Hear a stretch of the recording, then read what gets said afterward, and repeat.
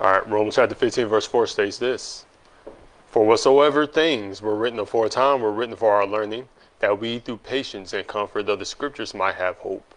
And then Job chapter 8, verse 8 through 10 states this For inquire, I pray thee, of the former age, and prepare thyself to, ser- to the search of their fathers. For we are but of yesterday, and know nothing, because our days upon earth are a shadow. Shall not they teach thee and tell thee and other words out of their heart? So I started with these verses because I have decided. Well, I was actually debating if uh, I should do another Try the Spirits uh, series, but I realized that I still haven't finished the Try the Spirits, the Catholic volume. so I was like, ah, I, I don't want to keep jumping from different Try the Spirits. And this one's not really Trying the Spirits. This one's more of a history uh, lesson, a Christian history lesson, and I think it's important for us. Um, so I decided to uh, to uh, understand Christian history, true Christian history, not uh, Catholic history, which a lot of people believe is the universal first church. Um, but I started with these verses because I have decided to start another series called The Old Paths 101. So yes, this is Sunday school, and we're about to have a history school lesson, right? Uh, this is inspired not by not only my love for the Word of God, but my love for true history. And I stress that out, true history. And uh, uh, biblical history um, and Christian history because the history we are taught is over is usually overly simplified um, and or propagandized and or viewed in rose tinted glasses which can uh, mislead and deceive us away from the truth. As for myself when i understand history it points me right to the uh, to to the word of god. How? Because it proves that history is complex Men are men are sinners, yet complex, still sinners. And if you don't have God, we perish. Um, history with God's word as your foundation will help you discern properly the what, the how, and the why, and other essential meanings to historical events. Um, another thing I will add is that I hate that Christians have believed in lies and are ignorant to the truth, specifically in history. I have seen Christians wrongly uh, glorify ungodly men because they were taught wrongly and did not study to show thyself approved unto God. It is important to know true history and not fall for the lies because, in effect, when we know true history, it forms our mindsets in the way, which we either accept the truth or we either deny the truth. Um, and if we are willing to deny the truth about historical events and figures outside of the Bible, then are we not walking on the thin line of denying the Bible truth from history and wisdom? Case in point, many people believe that Martin Luther King Jr. was this godly man that was martyred for the Christ's cause. They probably also think that the civil rights movement was a Christian movement too. However, the truth tells us this. I mean, really just look outside. Look at the state of the black community. After the civil rights movement, what happened? The crack cocaine epidemic, gang gang violence increased significantly. Single parent uh, households increased significantly. Uh, black men incarcerated significantly. And so, what? The civil rights movement was a good movement. The, I mean, the effect of it was a good movement. Martin Luther King, on the other hand, um, everybody will constantly quote the same quote. I mean, I swear, anytime people want to say Martin Luther King is a good Christian because he says, I have a dream. Yeah, he was dreaming all right, but he had a dream about uh, I live to see a day where my children could walk hand in hand with a white. I don't even remember because I don't care about it. I, I don't. I, I'm not deceived by a quote, a good quote, not by enticing words by a man. Um, they, um, however, the truth tells us that the man, from his own words, from his own mouth, from his, and you can look this up on the internet, um, from his um, foundation, um, the truth tells us that this man, Martin Luther King, believed that Christ was just a man and not 100% God, not God at all. He just believed him that he was a man, as well as that the Bible is a book of myths. He stated that. But this is not our topic for today. Um, this is not our, our topic for today because, or nor the civil rights is, because I want to show you a part of history that is very overly simplified, very propagandized, um, a lot. I'll also be touching on the figure that most people do glorify on this side of heaven. I will tell the story about a time in history where serious Christian persecution occurred no less than 160 years ago, right here on American soil, and where the light of the Word of God was almost diminished right here on American soil. And I want this to be also, as we go through this part of history, this to also be a warning for Christians today who believe that, or now who, who, who believe that things are going to get worse. And I believe things are going to get worse. But this is a warning of what we are we should do, right? And to get our mind rights for the as the world is waxing more and more wicked. Let's pray. Dear Heavenly Father, thank you for another day. Um, Lord, just please be with me. Make sure I do not err from the truth.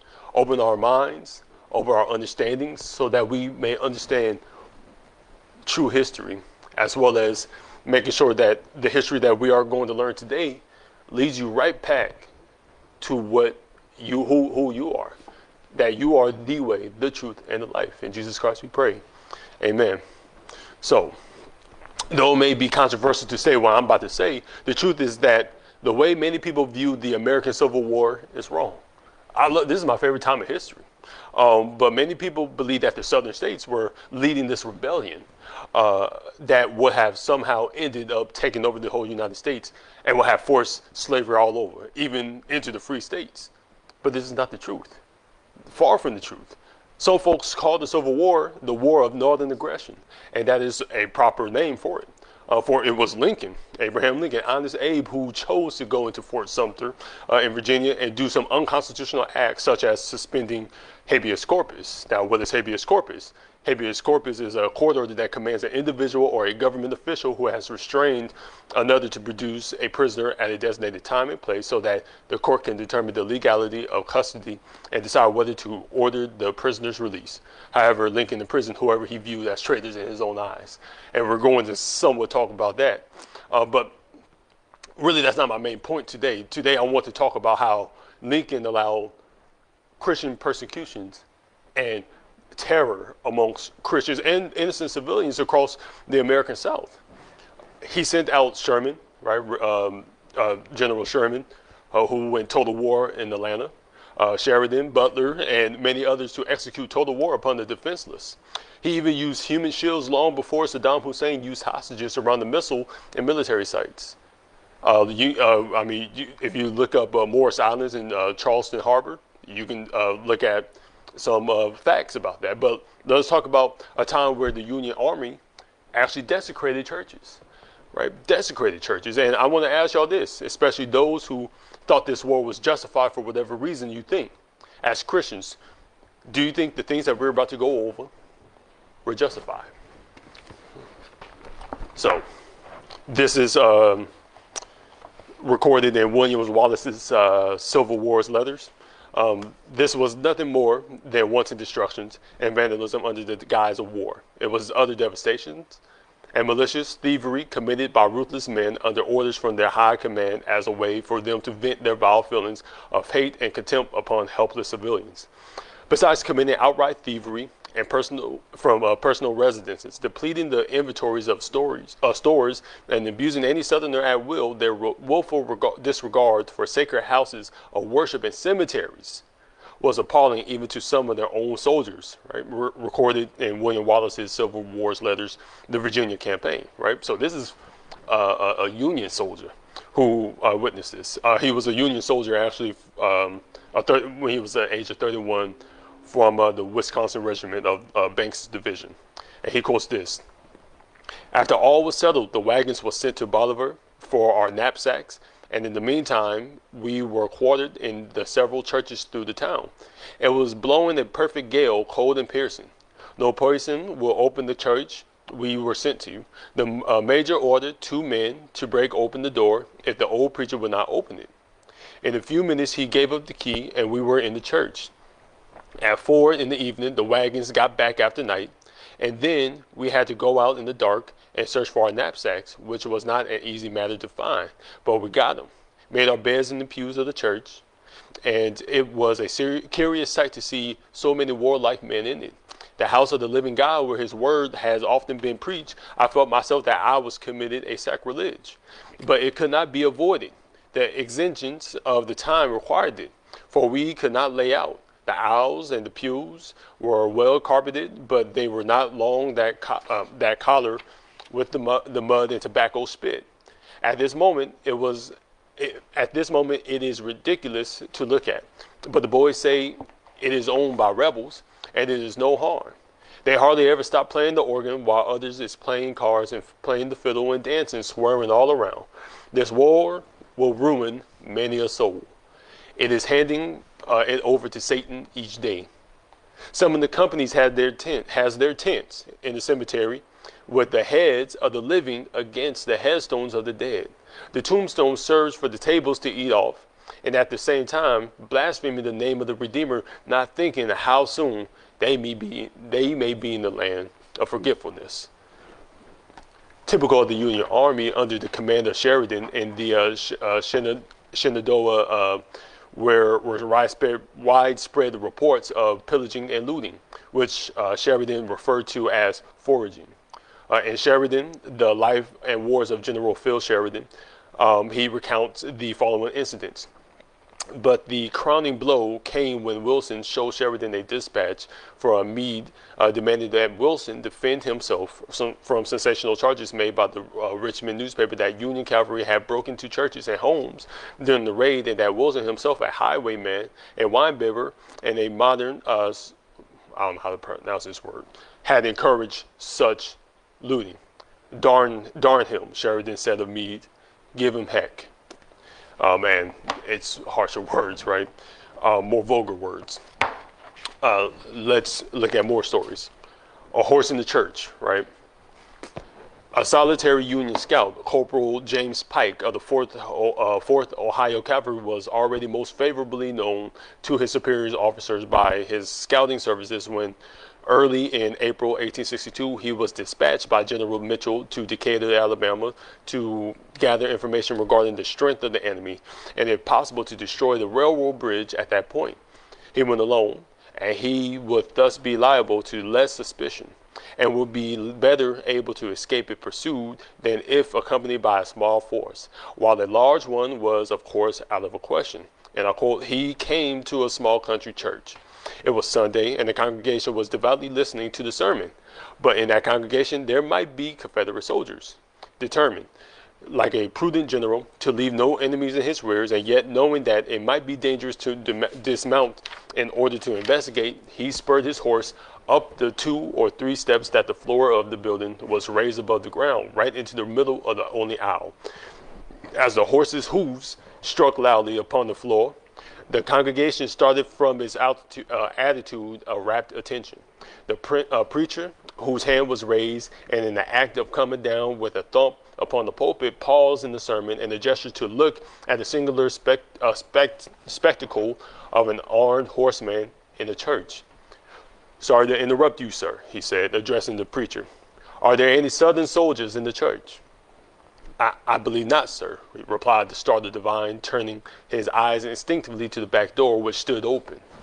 Suspecting that there had been Southern soldiers in the building a few moments ago, and that back door had been their means of exit, he directed the preacher to offer a prayer for the President of the United States, backed his horse out of the building, and rode on, realizing that in rapid movement was his only safety from an aroused country, uh, county, uh, country, and saw that he had already disturbed the worshippers only too completely. That's from Deeds of Daring uh, by both Blue and Gray by uh, D.M. Uh, Kelsey. Um, let's see. Here's another one.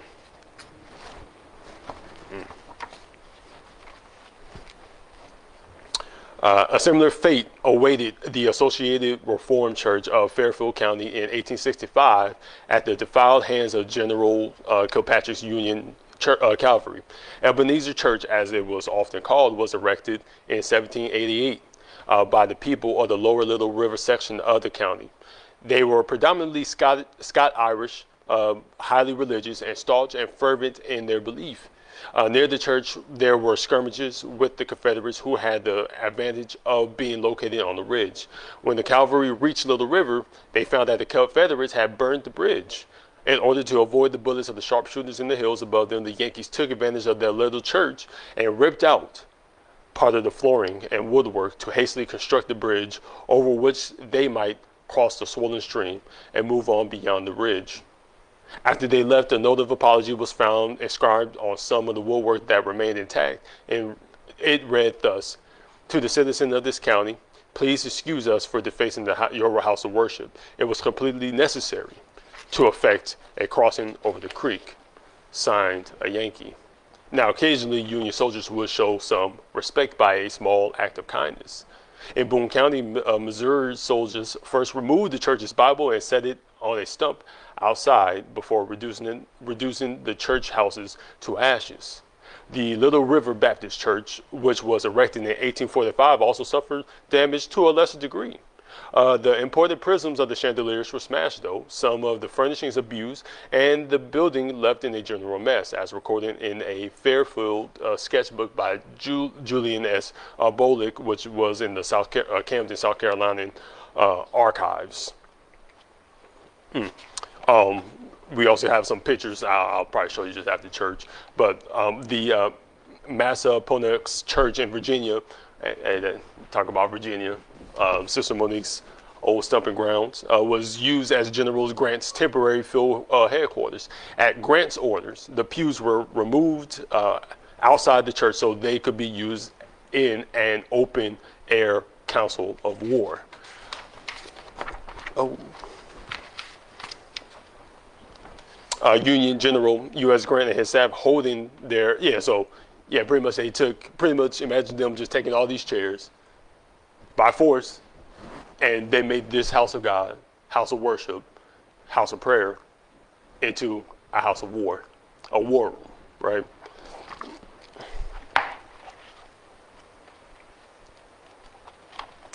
All right.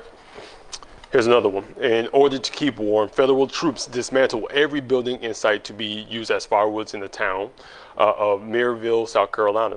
Sergeant Flaherty watched as the village church was attacked. First, the pulpit and seats were torn out. Then the sidings of the blinds were ripped off. Many axes were at work. The corner posts were cut.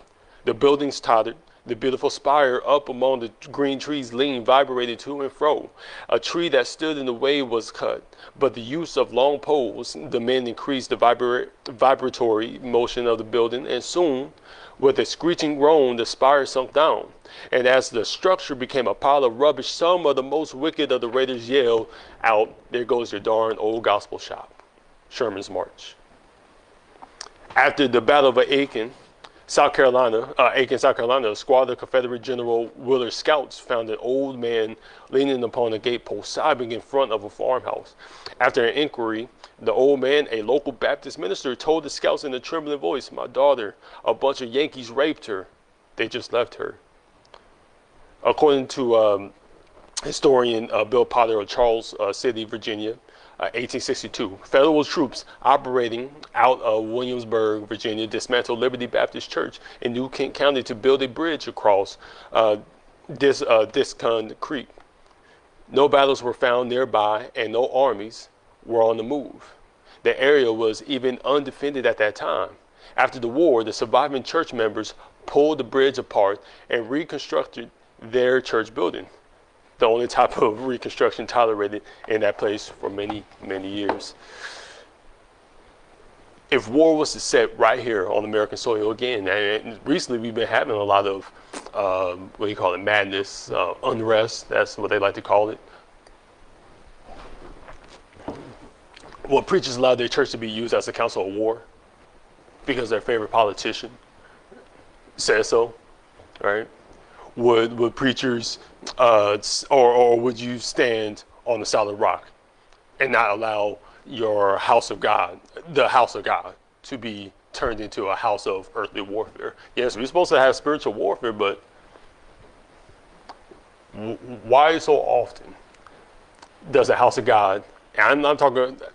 I, will speak for the so-called black churches. They become a political soapbox, a soap opera, how I'll call it, right? Political theater for for uh, instead of a house of prayer, right? Um, too often, right? Um, now, we're going to go to the next section. I have no problems talking about the incarcerated preachers like uh, preacher uh, Reverend Richard N. Herndon, who was uh, who who died in prison in uh, actually Culpeper County, Virginia. And if you know what about Culpeper County, Virginia, do you know about Culpeper County, Virginia? So the history, actually, Culpeper County, I believe, is the same place where you know who James Ireland is. Yeah, that's it's the same place where a lot where he was jailed at, where he built his church at, and a lot of his ministry was at. So the same preacher, um, just again, the same place where James Ireland was prisoner at.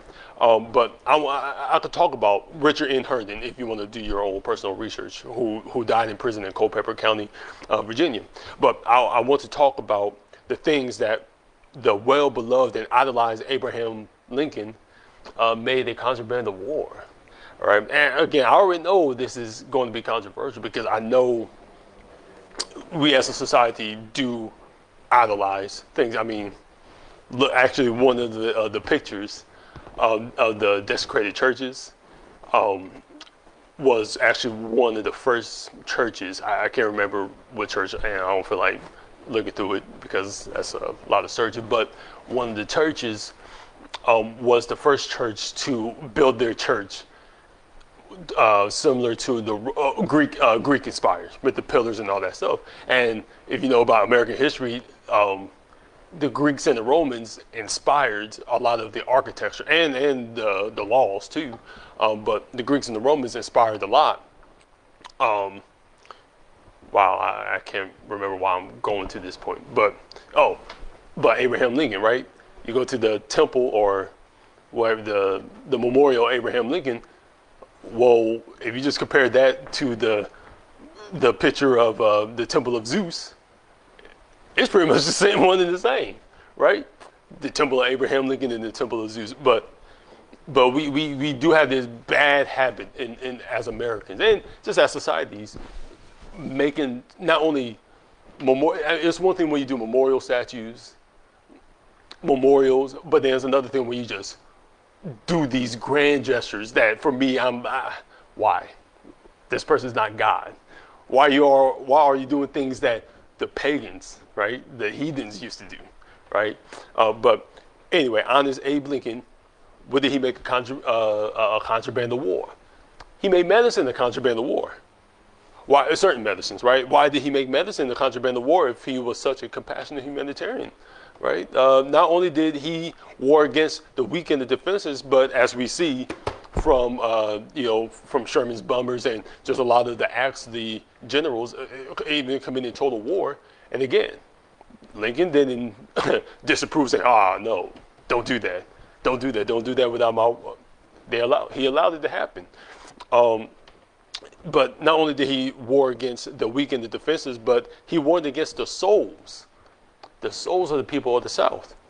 Did you know that Abraham Lincoln made the Holy Bible a contraband of war? Right? He made the Bible a contraband of war, and we're going to talk about it. Jesus, uh, Jesus, the Lord Christ said this, but woe unto you, scribes and Pharisees, hypocrites, for you shut up the kingdom of heaven against man. For ye, for ye never go, neither go in yourselves, neither suffer ye them that are entering to go in. Matthew chapter 23, verse 13. He's trying to, who, who does that? What Christian man, self-proclaimed Christian, I don't care, will tell people you can't own the Bible? We're going to make the Bible a contraband of war. You can't deliver Bibles across enemy lines, right? It kind of, it's just kind of weird, right? And I know people who, and again, when you do further history, you'll reveal more things about who Abraham Lincoln, the man, was, but that's neither here or there. Um, consider how one of the Confederate soldiers considered this act of the Bible being a contraband of war. Again, this is some stuff that they are not going to teach you. They're not going to teach you. Same thing that why they're not going to teach you true Christian history about the Novatists and the Donatists and all them. They're not going to teach you about this this moment in history. They'll teach you about the first Great Awakening. Hey, they might teach you about the second Great Awakening, even though you had to do a little bit more research on those things. But there was an awakening right here in the Confederate Army. Again, consider this: why, after the Civil War specifically, the South is still considered the Bible Belt, right? One of the uh, Confederate soldiers considered this act of, of the Bible being the contraband of war. And I'll quote, I am a poor sinner and have no chance to be any other way, for I have no Bible. Yankees want us to lose our souls, same as our lives. It is an, it is an aggravation for breakfast, dinner, and supper. You heard about history before. You heard about this history before. Or is it uh, that we are taught or indoctrinated to believe that Abraham Lincoln and the whole Civil War was some type of Christian music similar to the Civil Rights Movement and Martin Luther King and all them uh, cats? However, another part of history that doesn't get taught enough about is the revival that was happening in the Confederate Army and the Christian mobilization that occurred despite the Bible being banned, being uh, a contraband of war. And but and, and despite the Bible being a contraband of war, Christians decided to mobilize, and this did cause a great awakening in the Confederate Army. Because guess what? When the Confederates won their first battle, oh, they, it, it, was pretty much they they were in a house of uh, what do you call it, mirth. Getting they had a reputation of getting drunk having the had a rep, I'm talking about the Confederates. They had a reputation of getting drunk, having the pretty much the stereotypical military, right? Drunkenness, cursing, and all this other stuff, right? Especially when they won their first battle, but when they lost, whoosh, humbled. They got humbled real quick, and then when these acts, right, uh, from especially the uh, uh, contraband of war, a lot of stuff really was bringing down the morale of the Confederate Army. Um, check this out. This is from uh, Christ in Camp or Religions in Lee's Army by Reverend John William Jones. Very good book, long book, I'll say. Small print. Huh? John, uh, Christ in Camp, in the Camp, or Religion in Lee's Army by John William Jones. Right, and it's a great book. Um, it it's really is a it talks a lot about uh, the colporteurs, the the preachers that were sent out into the Confederate armies all throughout the South, and the the work that these Christian godly men did. Um, and they, just in the troubled time, uh, troubling time, and just how the gov- even the government, from Jefferson David, uh, Davis to uh, Stonewall Jackson and Robert E. Lee, um, and and even, um, but the world's history has never been never presented a wider and this is from chapter 5 bible and colportage work the world's history has never presented a wider field of usefulness to the humble colporteur who tries to do his duty than the camps and hospitals of the confederate armies and rarely have christian workers more fully improved their golden opportunities. When the war broke out nearly all the great publishing houses were located at the north. Our people generally did their bible and tract work in connections with societies whose headquarters were in northern cities, and our facilities for publishing were very scant. The great societies at the north generally declared Bibles and Testaments contraband of war, and we had at once to face the problem of securing supplies through the blockade or manufacturing them with our poor facilities. So the South, they just didn't have good, uh, they were really becoming more war torn. They didn't have the proper facilities. And again, literally the first Confederate Bible printed, so far as I can ascertain, was from the presses of the Southwestern Publishing House at Nashville, Tennessee, 1861. Uh, a copy of this edition was sent to President uh, Jefferson Davis, who replied, The Bible is a beautiful specimen of Southern workmanship. And if I live to be inaugurated the first president of the Confederacy on the 22nd of February, my lips shall press the sacred volume which your kindness has bestowed upon me. Man, how, how many presidents have we heard glor- uplift the word of God like that? Has Trump did it? Has Biden did it? Has Obama did it? Right? has George H.W. Right? We go that Bill Clinton. We already know what he we know what he glorifies, right? But you don't see this in America. Our leaders, we, we see them being men pleasers. Right? We don't see them at church oh yeah, yo, I love the Bible, but then they'll be in the Buddhist temple. Oh yeah, I love Buddha. You know, bowing down to the fat Buddha, right? They'll, they'll, they'll do they'll, they, pretty much what Herod and Pilate, all, all of them did. They just did whatever pleases the people so they can get in power and stay in power, right? And that's why people believe all roads lead to heaven, right? Um, the British and Foreign Bible Society gave to the Confederate Bible Society unlimited credit in the purchase of supplies and made liberal donations of the Bibles and Testaments for our soldiers. As the following statements of Dr. Bennett will show, finding that for the main supply they must rely on importations from abroad. The Confederate Bible Societies directed its corresponding secretary, Reverend Dr. E. H. Myers, to communicate with the British and foreign Bible societies with the view of securing such occasional supplies as might be lucky enough to escape the dangers of the blockade and reach our ports. Dr. Myers, after detailing the operation of the society, said this the proposition is simply that we be allowed a, uh, a credit with your society for the scriptures we need.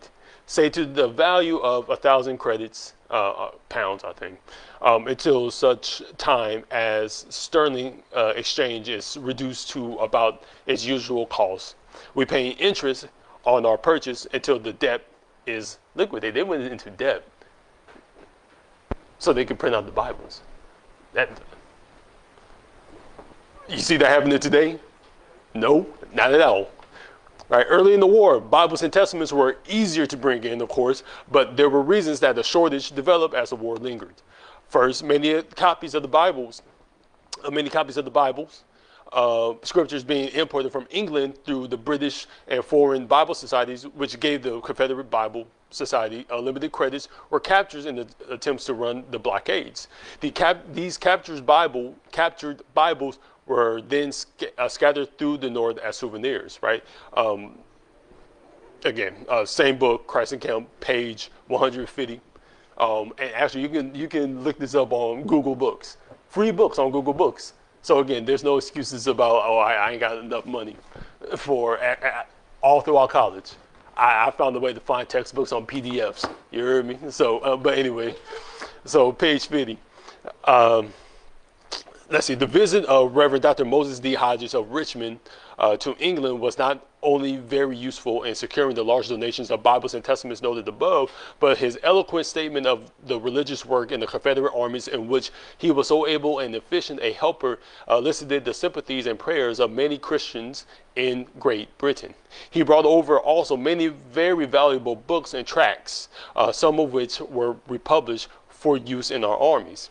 One of my most cherished mementos of the war is a portable Bible, commentary and coordinates, which were brought over by Dr. Hodges, and copies of which were presented to many other chaplains by the accomplishment, accomplished Christian woman and noble workers, Mrs. E. H. Brown of the uh, uh, wow, who was appropriately called the chaplain's friend and whose untiring labors in the hospitals won her the warm love of the soldiers, and doubtless many stars in the crowning of rejoicing she now wears. Unfortunately, however, only a part of the Bibles and other supplies secured by Dr. Hodges succeeded in running the blockade, and many copies of the Word of God intended for our suffering soldiers were captured and scattered through the North as souvenirs, right? So, bam the, the pressure exerted by the, uh, the, the federal government's unholy crusade against the souls of the Southern people hold dear. Um, as, as, as a result of the steadily tightening naval blockade, it is said Southern, Southerners had even been denied the privilege of importing, importing the Word of God brought into the Bible, in, in the Bible house. Thus, the South had no option, and this is from Gibson's Stories of the American Bible Society. Um, thus, the South had no options but to look to her own resources for the book of life. Um, secondly, right, the second reason why um, the shortage developed was the South, before the war, had depended on publishers in the North for Bibles. But when these sources eventually ended, obviously the South needed to produce Bibles. And as I we John uh, Williams talked about, the Southwestern Publishing House in Nashville, Tennessee, began to print the first Confederate Bibles. Um, however, due to the limitations posed by a single publisher, right? Uh, again, one publishing company for how many states in the South? That's hard, especially with limited resources. That is just very hard. You you're only limited, so limited. Um, which developed uh, because of the war. There were still never enough Bibles. Third, the greatest of the obstacles to bringing in enough Bibles had to be Abraham Lincoln's policy of making God's word contraband of war the American Bible Society agreed to supply Bibles, and the American Bible Society, I believe they're located in the North. But what they did, what they did was very, very, it was beautiful. What they really risked their lives to deliver the Bible. Again, I ask you, are we willing to do that if things start to go down again? Are we willing to do that? do, can you just imagine? I, I, can't imagine it really. You never know. We, we do have some few good men, right? Um, but uh, the, the American Bible Society agreed to supply Bibles to the South of May of 1861. What followed is an example of how Bible bound for the South were considered. And I quote the first books, and this is from um, the Centennial, uh, Centennial History of the American Bible Society by Henry Otis Dwight. Um, page 262. Um, I, I, have all these books, so if you want to borrow, I, am a nerd, man. I, am I'm a geek. Uh, but I do have all these books. Um, I just didn't bring all of them because it'll, been we'll, we'll, be here until it'll be a five-hour lecture, right? Um, but the uh, but yeah, the Centennial, uh, Centennial History of the American Bible Society by Henry Otis Dwight, um, and he and it quotes this. The first books sent in the West were held up as contraband of war. Early in the 1862, uh, federal officers at Cairo, Illinois, stopped a parcel of New Testaments uh, as contraband, which was addressed to General Bishop uh, Leonidas Polk's army at Columbus, uh, Kentucky. Right, so, bam, the, the blockade. Right, um, but the ABS, uh, the American Bible Society, so the ABS did not give up on their purpose of the society. And that purpose was the publishing and spreading of the Word of God. Amen. The organizations tried uh, to help their Southern brothers as best as they could. Yes, the American Bible Society's board of managers, and I'll quote from Gibson's book, uh, kept up the search for means of getting its scriptures uh, over, over the high wall of war. The sending of Bibles uh, into the South under such circumstances was spoken of as a truce of God. The ABS claimed that more than 30,000 volumes were sent from their uh, depository by purchase and donations to the Virginia Bible Society through the Maryland uh, Bible Society, or Merlin, right? I say you say it. One North Carolina uh, pastor sought our governor, Zebulon B. Vance's help in contacting the ABS let me say that again. One North Carolina pastor sought our out Governor Zebulon B. Vance's help in contacting the ABS for copies of God's word for soldiers and citizens in his state. He declared that Bible property, the governor, he declared that Bible property was so extreme in his state that it will make the hearts of Christians ache. Do you think today's politicians will fight this hard if the Bible will have been a contraband war today? A governor right? Maybe. Hey, we don't know, right? We won't know until it happens, right? But the way things are happening, the things that we see, and people, the way people think uh, been acting, I don't know. But the reason why I'm teaching this again is just to charge y'all up, to look at history and really learn and think about, hmm, okay, if they could do it, if our fathers can do it, we can do it too. Fourthly, according to Pitts, uh, Chaplains in Gray, the Tennessee Baptist uh, paper reported the good news of the Southwestern publishing venture stating Lincoln no longer binds the word of God. However, this was only a band aid solution when considered in the light of great demand from the Confederate Army and so Southern so citizens for Bibles. Chaplains and colporteurs often said that the demand was never satisfied, right? The fact that, that people are asking for Bibles, begging for Bibles, and we're going to see some examples right here, right now, right? Camp near Petersburg, uh, Petersburg, uh, November 10th. Um, and this is uh, James uh, William Jones, written by him. There is a great general demand in the army for small Bibles. I have daily applications from soldiers so eager to get them that they frequently say that say they will give several months' wages for one. But the supply at all of the depositories and bookstores had long since been exhausted, and there seems little prospect of a replenishment. Our brave boys must beg in vain for Bibles. They must beg in vain for Bibles unless the good people at home, at home, who have hitherto contributed so liberally to the spiritual and temporal welfare of the army, will also come to the rescue in this matter. So he's calling people in the homes.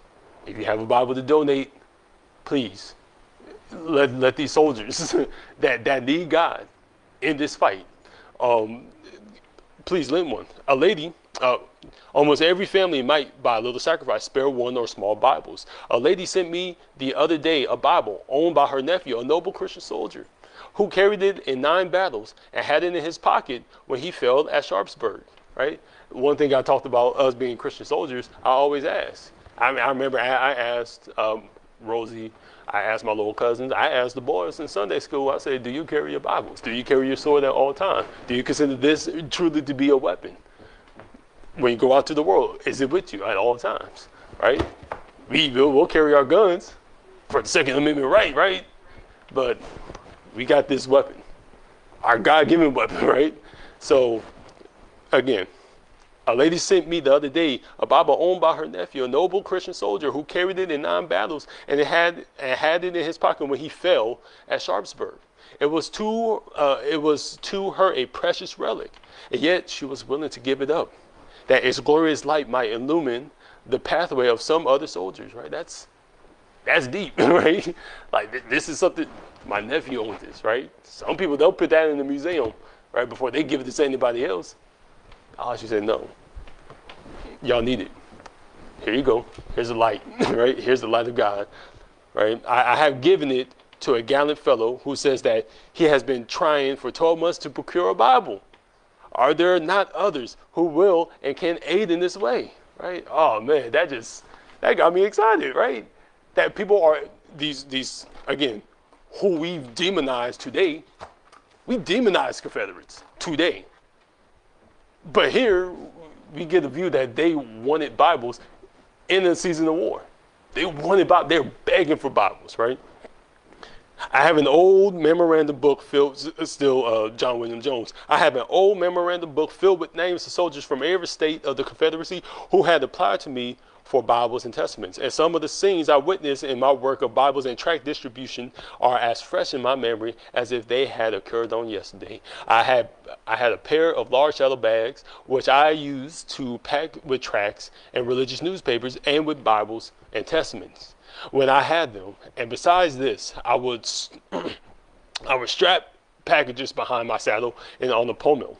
Thus equipped, I would uh, forth, and as I drew near the camp, someone will raise the cry, "Yonder comes! Yonder comes the Bible and tract man!" Right? Wouldn't that be cool to be considered? Hey, yo, the Bible lady coming, the tract lady coming, especially if we start so when we soul win over here hey yo yonder oh people don't say yonder right but hey yo and look out there. The track people coming again from solid rock. The track people coming again right? That, that that'd just be so crazy. That'd be so cool.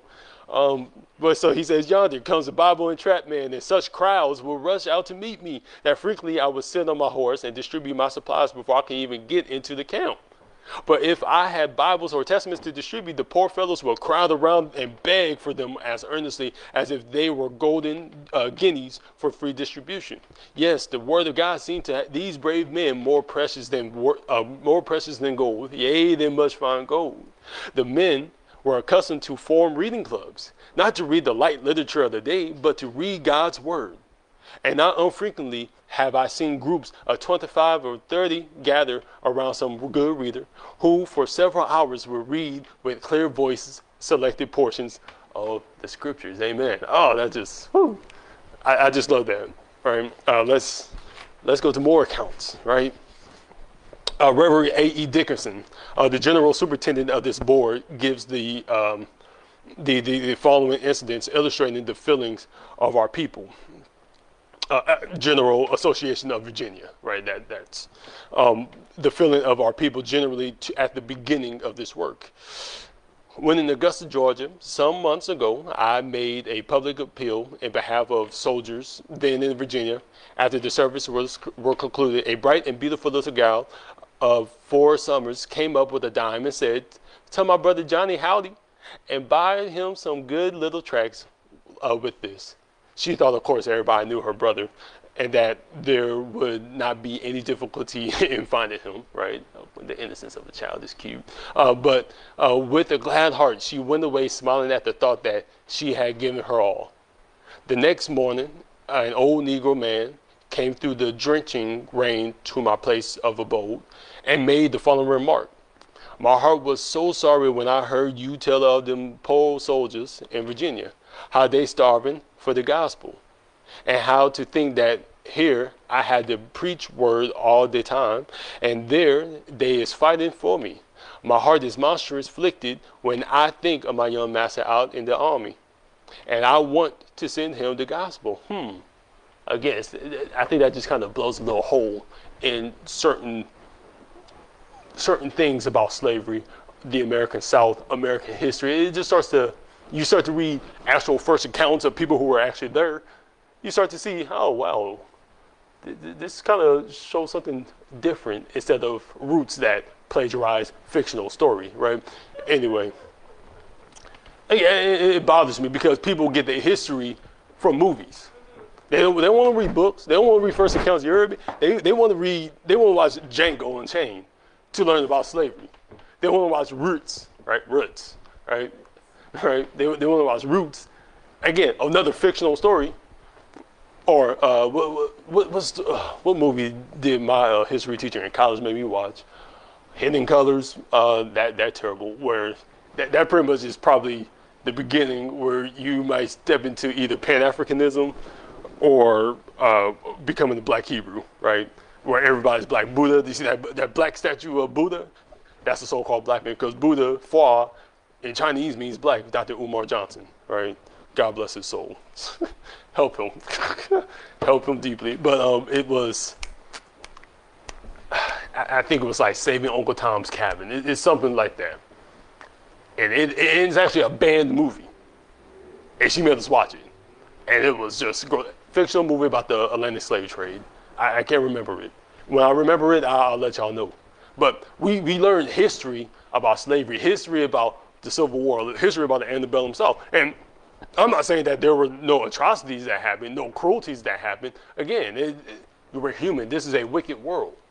Ain't nobody saying that. I'm not saying that. But I'm telling you that this this this rose-tinted view of the North came down to the South to free all the all the black people, all the slaves. It's it's it's like this much. It's like this much. All right, let me keep reading. The demand for the scriptures and tracts continue to be as great, if not greater, than at any former period. Oh, my bad. Uh, hey.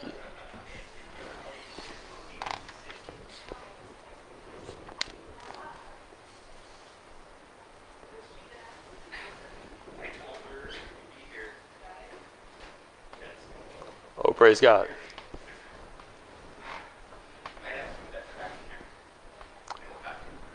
How you doing, brother Jerry? How you doing, man? You preaching to yourself? Yeah, right now I'm preaching to myself. preaching to God. Amen. um, but to continue. So saying he placed a gold dollar in my hand and expressed his regret that it was so little, talk about the slave. several persons gave large sums. But of all the hundreds, uh, hundreds thrown into the treasury, it seemed to me that this little girl and this gray haired African uh, were the most liberal. They gave of their poverty. God grants that brother Johnny and that young massa may become savingly interested in the great salvation. A.E. Dickinson's a question I ask is this is is the word of God precious to us today? If we were to face persecutions, will we go out of our ways to get a Bible, right? Just to get get a Bible, to hold the Bible in our hands. If they were say if they were to say the Bible is banned, you can't own Bibles, and if you if we catch you sending Bibles, we're gonna jail you.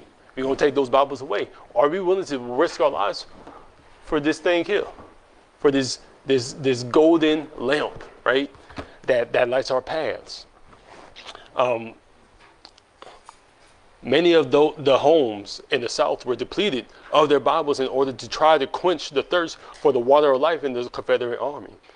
The moving of God, but uh, the moving of God, the Holy Spirit, in the awakenings in the armies of the Confederacy added to the need for Bibles. It seems like one of them good problems, right? It seemed like one of those good problems. Many soldiers in the army went from drunkards and blasphemers to newborn babes in Christ that hungered for the milk of the word of God. And the older believers hungered for the meat of the word. Um, and I quote um, from Pitts, Chaplains in a, a truce of God was a welcome arrangement to the Confederate States of America. God's sacred word did not pose a hazard to the minds of Southern people. Again, this puts Lincoln's treatment of God's holy and divine word as a contraband uh, in an even darker light. It just puts it in an even darker light for someone to do that on American soil. Come on, man. But Lincoln also, through his army, destroyed and desecrated the houses of God throughout the Confederacy when the Reverend G.S. Uh, Griffin, an agent for the uh, American Bible Society, visited the Shenandoah Valley just after conf- uh, conflict ended, he was overwhelmed by the devastation to church buildings. How would you feel? Every Baptist church that we, we go by, it's just destroyed. People just destroy it. And the government don't care. I guarantee you, if it happens today, I don't, I don't know. They, they're already trying to tell people you can't come to church because, you know, trying to be safe or whatever for um, the, the the pandemic for the cookies, right? If the riots were to break that break out again, and they destroy the old Solid Rock Baptist Church, Liberty, wherever you wherever church, I don't think they care. They'll just be like, huh, there goes your old gospel shop, right? Um, so um, when uh, yeah, so he had so going back to Reverend uh, G.S. Griffin the agent from the American Bible Society, uh, he had been sent to ascertain how the American Bible Society could help. What he saw appalled him. Many of the churches had been completely demolished. Many others were in such damaged conditions that they were, and I quote, unfit for divine service. In their great poverty, the residents of their communities were not able to do much towards making them serviceable.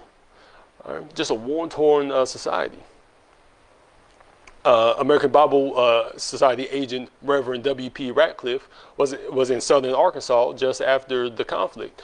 Um, he was trying to raise money for Bibles. Ratcliffe uh, related an event that moved him. A fatherless child showed up at the depository the next day. This was after a meeting Ratcliffe had conducted to raise awareness of the need for financing the purchase of Bibles. He said that the fatherless child, in her hand, she clutched a pair of new of newly knitted socks. Mother was at the the last uh, meeting last night. She told the minister, uh, and she hasn't and she hasn't any money. She sent these. It is all she had to send the Bible to the poor, right? So again, they they just send it where they can. I, ain't silver and gold. I ain't got nothing, but I got this pen. This pen is worth something. Let that be used as contribution to um, purchasing the Bible. Thankfully, uh, actually, yeah, yeah, yeah. Thankfully, many tracts and Bibles were still able to get across the lines and into the hands of soldiers and civilians of the Confederate Army. And the amazing thing that the Word of God can do when someone gets their hands on it, and especially during the time of war, well, let's actually just look at the effects that happen in the uh, uh American, uh, uh, the Confederate Army. So going back to James uh, uh, John Williams, Elder J.A. Dahl writes this, Scottsville, October 2nd. We have a gracious revival here going on among the soldiers and citizens. One service is held during the day in one of our good hospitals, and another at night in the church. A goodly number of soldiers and citizens have already professed conversions, and the prospect is cheering. A private letter from a soldier who was in the Maryland campaign, published in the Southwestern Baptist, says, I had my Bible in my right breast pocket, and a ball struck it and bounced back. It would have made a severe wound, but for the Bible, right? Now, that's one of those stories that you say, Lord, where, where the miracles at, right? But uh, again, the fact that they're hold, I mean, they're holding the Bibles with them when they're going out on the field of war. That's for me, that just blows my mind, right? Um, I, I, would like to think that I would be able to do that, right? I, I would like to think I was, if I was a soldier, I would be able to do that. Carry my Bible with me, right here, on my left side, on my left chest, because that's where my heart is, right? Uh, Brother H. Madison writes this I have seen much of I have seen much of the goodness of God since coming to the army. Many a warm thanks I received from the soldier. Oh, it is sad and yet glorious, a glorious thing to see a, so, a Christian soldier. They are so happy, so powerfully sustained of the Lord as far from home. They go through the dark, dark valley. I might tell you the particulars of two such cases. First, Reverend M.D. Anderson. Um, M.D. Anderson. I met with a young man some time ago who said to me, Parson, you gave me a book.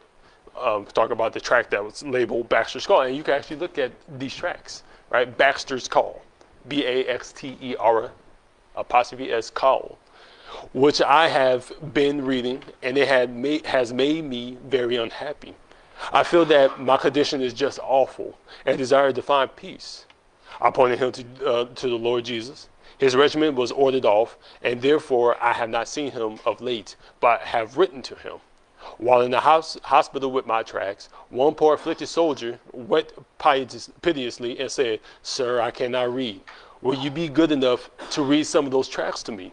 I read several, and among them, a mother's parting words to her soldier boy. That's a very good track to read. A mother's uh, parting parting words to her soldier boy. You could go ahead and look that up if if you're interested. It's a very, very good, heartfelt, uh, heartfelt uh, tract. O said he that reminds me so much of my poor old mother, who has faded from earth since I joined the army. He wept and seemed greatly affected. The second example, Reverend J.B. Actually, is a bunch of Reverend J.B. Uh, Hardwick. Hardwick God is blessing the distribution of tracts and the labors of chaplains and colporteurs here in Petersburg. More than a hundred soldiers have been converted since April. I never knew a work of grace so powerful, quiet, and deep. It seems at times that the hospital is a Bethel, but we need more assistance. I call for reinforcements, and you must furnish them immediately if possible. Send us at least two colporteurs, one for the hospitals and the other for the camps. Reverend J.C. Hayden, can't you send us colporteurs here uh, in Charlottesville? There is a most encouraging state of things at present. I am holding a, pro, um, a protracted meeting. Uh, crowds attended the preaching, and some have professed a change of heart, while others are interested. It is an interesting sight to see men wounded in every variety of ways sitting attentively to the story of the cross. Reverend T.J. McVeigh, chaplain at Farmville, my supply of tracts has been distributed, and the soldiers asked for more. I administered the ordinances of baptism for the first time a few Sabbaths since in the Appomattox uh, River to a young soldier from Alabama. It was the most deeply interesting and young and beautiful scene I ever witnessed. All the sol- all of the soldiers who were able to leave their rooms gathered upon the banks of the river and seemed to have a high appreciation of the ordinances, right? So they're doing public, um, they're doing baptism, right? Right there in the river. Reverend William Huff Marion uh, uh, from Marion, Virginia, uh, our colporteurs now in the Western Army are laboring um, with encouraging prospects. Reverend J.H. Harris is visiting General Marshall's command. He finds them destitute and anxious for something to read. He says, after the labors of the day, it is truly gratifying to see them grouped together, reading aloud to each other such portions of their tracts as interest them most, and speaking in the highest praise of the little camp hymn books, right? That would be crazy. That Bellflower, people on their free time is reading our little tracks, right? They, they're just having a blast just reading, wow, this is interesting. And having a blast reading soul stirring songs and hymns. And like, yeah, you know, let's just not even sing, let's just actually just read the lyrics and see what the lyrics say, right?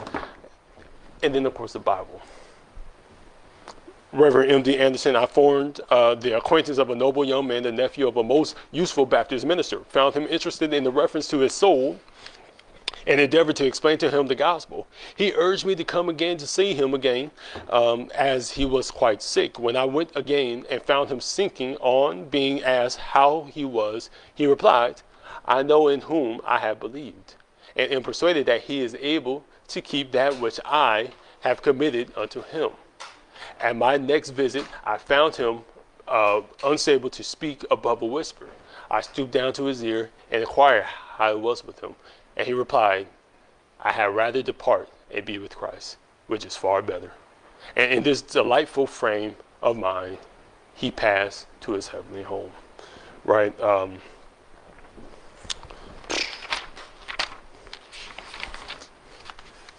Brother M.D. Anderson again. I have, in March 12, 1863, I have for some time been aiding in the revival now in progress at Fredericksburg, at which upwards of 60 soldiers have professed conversion. Last night, about 100 asked for the prayers of Christians. A great work is going on, brother. Brother G.C. Uh, uh, Tre- uh, Lynchburg, Virginia. We have a soldier reading room here which is well supplied with religious papers. Our hospitals are very thin, much thinned out. A desire, uh, a few days since I was sent for to be with a dying man who desired to see a minister of the gospel, I found him rejoicing in, uh, in a hope of strengthened faith. Our prayer meetings continue with in- increasing interest. We have also an interesting Bible class which meets every Sunday morning. Let's see. Actually, I could go go ahead and purchase the book, or just ask me to borrow it. There's stories after stories after stories after stories after stories of the the the, the influence that Word of God had, and it's funny. What had more influence on the society was the Word of God. That had much more influence, right? Again, what do we call the South again? The Bible Belt.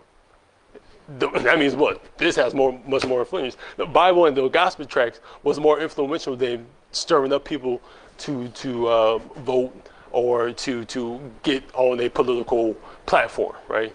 That that's what was more powerful, right? Um, understand, soul winning is more powerful than campaigning for your favorite political party, right?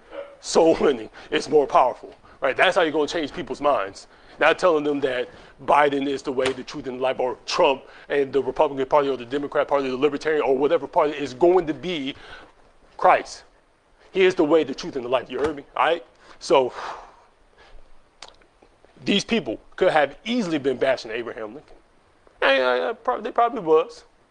One, one believe, uh, uh, behind them, but they could have easily been bashing Abraham Lincoln and charged the soldiers up to take more of a political action outside the military, but they didn't. They chose to go out and spread the word of God, even if that meant jail, even if that meant death even if that means they're going to be viewed as American traitors for the rest of their life. Oh, and so what, you want to give gospel tracts to the Confederate armies? The traitors, the rebels? You're a traitor. Traitor to your nation. God on you. Right? Shame. James chapter 12, uh, 1, verse 12 says, says, Blessed is the man that endureth temptation. For when he is tried, he shall receive the crown of life, which the Lord hath promised to them that love him. Are you willing to put your God first? Or are you willing to put your political favorite politician first? Are you willing to put the kingdom of heaven before your earthly kingdom? Are you willing to put the word of God that doesn't return void over the constitution that does return void, as we, as we saw? Unconstitutional acts was committed right here during this time. Yet the word of God still stood strong. Though Abraham Lincoln ultimately won the war, he did lose some battles. But he lost the most important battle to any of us, which was he lost the battle against the Word of God. This man's hand is covered with the blood of southern and northern people and God's people. Yes, Lincoln, he suspended habeas corpus and committed many unconstitutional acts. Therefore, we should be on notice. We should be aware that the Constitution will not stand forever. Just like all the other constitutions in the world, from imperial China to Greece and Egypt, all those things, they, they're going to perish, right? They're not going to stand forever. However, we must remember the grass withereth, the flower fadeth, but the word of God, the word of our God, shall stand forever. And this story right here on American soil that occurred fairly recently is proof that God's word endureth forever. Do you know the Lord Jesus Christ is pardon and forgiveness of sins? How much do you love the eternal and inspired word of God? Are you as hungry for the Bible as were our Confederate ancestors? Is the Bible reading a part of your daily life? Study to show thyself approved unto God, a workman that needed not to be ashamed, rightly dividing the word of truth. And even Jeremiah confessed, as we as shall be. right? Or excuse me, Job, excuse me, 23 verse 12 says, Neither have I gone back from the commandment of his lips. I have esteemed the words of his, of his mouth more than my necessary food. Again, like I told y'all, this endures forever. Politicians, you're whatever. I know I may be touching on somebody's, you know, touching on somebody's, you know, crossing that line of, you know, people, because again, we live in a very captivating political uh, environment. I don't care. This is what I care more about. Soul winning influences more lives than any politician, political party. All right? Let's go. Dear Heavenly Father, thank you for another day. Thank you for showing us the truth. Thank you for teaching us something. Thank you for showing us not only in this part of history that, you know, people did yearn for the Word of God. And thank you for just teaching something that when we look at our fathers of our past, we can understand their hearts and learn something. But most importantly, thank you for showing us that your word endures forever. Lord, be with us for the rest of the service. In Jesus Christ we pray.